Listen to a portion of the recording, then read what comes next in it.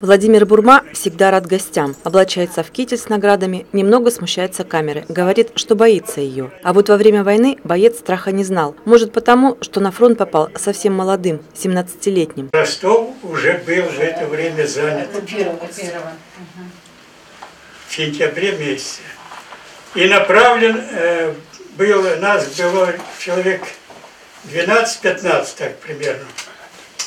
Направлен город Николаев, где нас направили в учебный дивизион, где и проходили обучение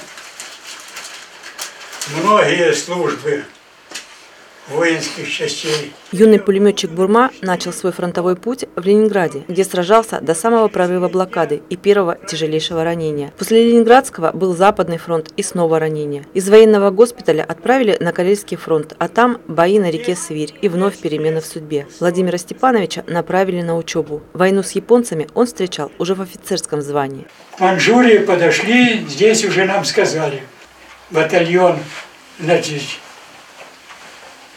марш вперед. Перешли мы 8, 8 августа. Августа.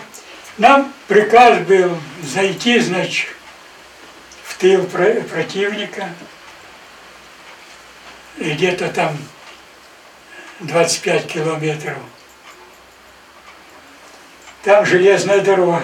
Хороший рассказчик, благодарная аудитория. Молодежь с интересом слушала Владимира Степановича. Факты из его военной биографии станут частью книги об участниках Великой Отечественной войны, которую готовит к изданию Совет молодых депутатов Краснодарского края для будущих поколений, которым уже не посчастливится вот так из первых уст услышать правду о войне.